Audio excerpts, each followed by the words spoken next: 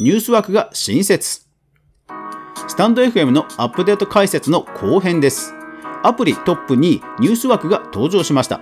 この枠はスタンド FM 内の番組だけでなく、ポッドキャストという外部の番組を自動的に差し込んだものです。そして、スタンド FM 内に独自にプロのニュース読み上げチャンネルが作られ、それを表示させているんです。スタンド FM が外部から番組を持ってきた意味、そして影響とは？それでは早速学んでいきましょう。おはようございます。フリーでマーケターをしながらクリエイター活動しています、かぐわです。この番組はインフルエンサーやクリエイターの経済活動や最新トレンドをゆるーく毎日配信している番組です。いつも皆さんフォロー、いいね、ご視聴ありがとうございます。そして、ラジオトーク、アーリーさん、勉強になりますギフトありがとうございます。それではいつものお品書き。新登場ニュース枠とは、ニュース枠に表示される方法。ニュース枠がもたらす優しくない2つの世界と未来。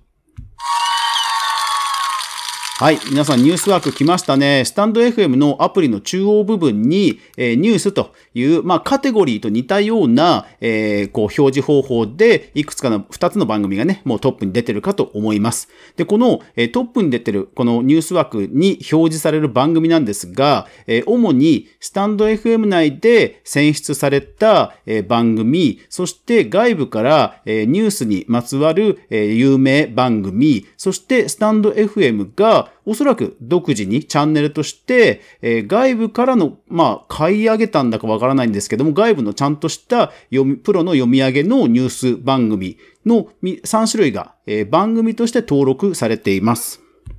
で、え登録された後はおそらく自動でですね、すべての配信が、え表示されているようです。えスタンド FM 内で、え配信されたしゅんさんの3分トレンドニュースという番組なんですが、こちら自動で、え表示されてました。ライブなども表示されてましたので、で、ですからおそらく自動と私は判断しました。で、実際ですね、え外部から、えー招聘された、まあ、表示されている番組、えニュース、ニュースコネクトという番組があります。こちら超ウルトラ人気番組でして、えー解説、えーとこの番組が作られて始まって、まあ1年もせずにですね、えーあのアップルのアップルのポッドキャスト、えー総合ランキングの、まあ、トップ50に入ると。えーこのニュースコネクトの下には、例えば朝日新聞ですとか、日経さんの番組もあるぐらい、とんでもないモンスター番組なんですね。しかも個人なんですよ。という、まあ、超ウルトラ知名度のある番組も招聘されていると。で、ただまあ、これ事前に告知があったかどうかは、まあ、おそらく告知がなかったんではないかと私思いますが、実際野村隆文さんっていうパーソナリティさんが、えっ、と、ツイッターでは宣伝をしていないので、もしかするとこれ告知なしで、あのー自動で表示したんじゃないかなと思う節があります。えー実際ですね、えこの野村隆文さんの番組なんですが、この放送は RSS フィードを取得して配信されています。ベータ版とあるように、もう本当に自動で配信されてるんですよね。で、もちろん、ポッドキャストというテクノロジー自体はオープンなものですので、えーアンカーで配信すれば、まあ、いろんなね、えーポッドキャストアプリに、えー配信されると。まあ、特に、えー自動でですね、Apple Podcast や、えー Spotify などにも配信されるというように、まあ、収録放送を多くの方に聞いてもらう。そして、まあ、どんなアプリでも聞けるという、えー開かれた技術ですので、まあ、一個人が、えー野村さんの番組を聞いてもいいので、えーまあ、それとほぼ同じような状態になってるのだろうなというふうには感じますが、ただそれを公式が、まあ、えーしかもアプリのトップに持ってくるというところが、まあ、衝撃だったわけです。さあ、それでですね、えー現在、えーこの、しゅんさんのえー3分トレンドニュースという番組が、えースタンド FM の中の番組としては掲載されています。もちろん、えー OEM、ニュースの OEM の、えー番組もチャンネルとして表示されていますが、おそらくこれは、まあ、Yahoo ニュースに、例えばスポに、スポーツ日本の記事が表示されるような、いわゆるニュースの OEM だと思いますので、えーこれはスタンド FM 側が、えー独自にチャンネルを作り、えー掲載したんだと思うんですね。で、えー、個人で本当に掲載されているのはこのしゅんさんの3分トレンドニュースという番組です。で、えー、しゅんさんの番組、ぜひライブもですね、やっていましたので、え、概要欄にリンクを載せておきましたので、ぜひ聞いてみてください。なんと、しゅんさん、え、特に事前告知はなかったそうです。で、しゅんさんは、えー、SPP でもありません、えー。それからフォロワー数も1000人いってないということをライブでおっしゃられていました。ですから本当に、えー、晴天の霹靂ということだったようです。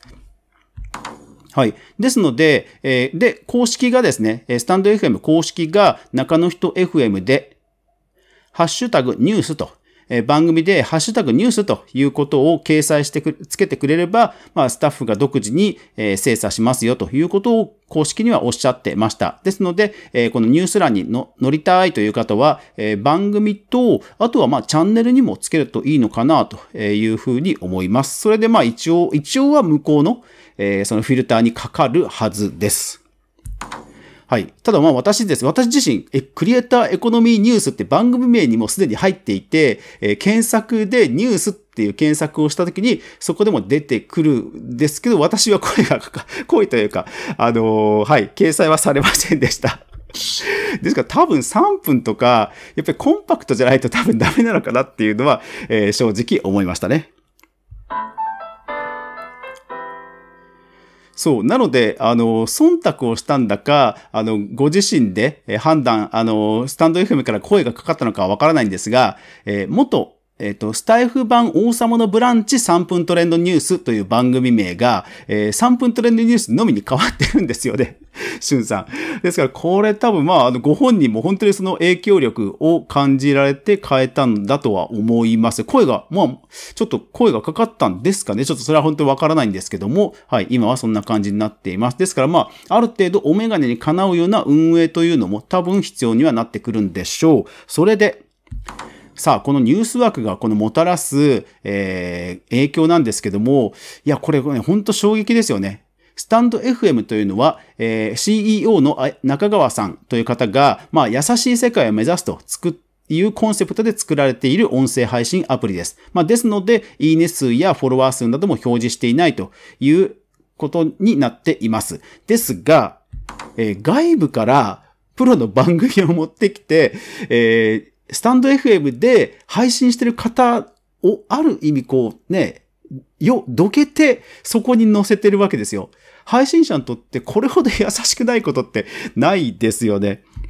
で、もちろん、えー、スタンド FM が、まあ、声をかけて、まあ、プロの方が、例えばスポーツね、チームの番組ですとか、いろんなこう、こう、企業の公式番組とかありますけど、それはちゃんと彼らが番組を作って、一クリエイターとして配信してるわけじゃないですか。ですから、まあ、ありはありだと思うんですよね。まあ、ラジオトークでもそういう番組ありますし、実際彼らが作ってる。ただ、本当に OEM で持ってくるとか、あの、外部から超人気の人を自動で持ってくるとかっていうのは、まあ、単純に本当にあの、いいコンテンツを揃えようということに見えますよね。で、そういう意味ではリスナーに優しいのかと思いきや、えー、リスナーにも優しくない可能性があります。実際、野村隆文さんの番組を見てみますと、えー、まあ、再生されているのかどうかわかりませんが、コメント欄が、あの超人気番組でも、あの、コメント0件なんですよ。ほとんどのチャンネル、あの、配信で。そう。なので、えー、で、私もですね、実際、ポッドキャストで、えー、いわゆる、あの、いろんなアプリに配信されているわけで、気づかないんですよね。ですから、ポポケットキャスト、オーバーキャストという、ポッドキャストのいわゆる受信だけをする、そういうリーダー、あの、ヒアリングアプリみたいなのが世界中にはたくさんあって、そういうアプリを使うとコメントもできることがあるんですね。でも、確かに、あの、いろんなとこに配信してるので、全部を見に行くわけにはいかないので、コメント気づかないんですよね。ですから、スタンド FM で野村隆文さんのファンになった方が仮にいたとしても、コメントが気づかれない可能性があるんですよ。これもやっぱり優しくないと思うんですよね。ただ、はい、ただですよ。この二つの、えー、ことを鑑みますと、今までのアップデートも実は伏線だったことがわかります。一つは、フォローした番組の自動連続再生です。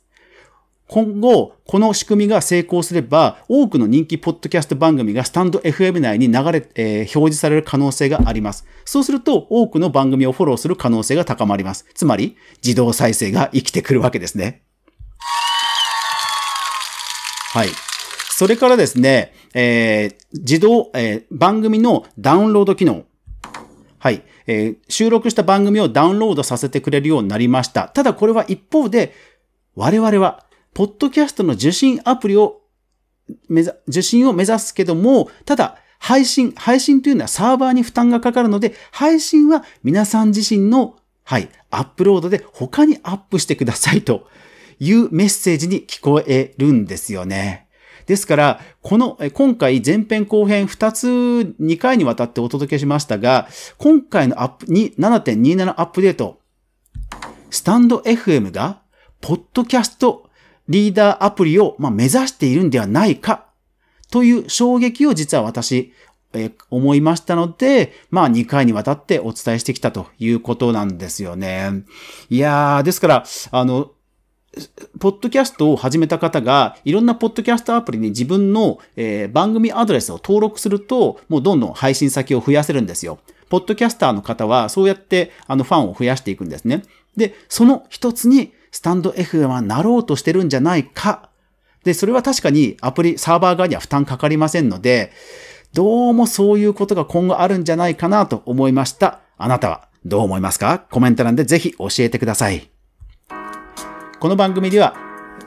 クリエイターエコノミーに関するニュースを私が日々ウォッチして、その中から厳選しているニュースをゆるーくお届けしています。ぜひ皆様からのご意見、感想、それからあとギフト付きレターもいいんですよ。いいんですよ。えお待ちしていますので、えー、ぜひどしどしお送りください。それでは今日も最後までご視聴ありがとうございました。今日一日素敵な一日になりますように。それでは皆さん、いってらっしゃい。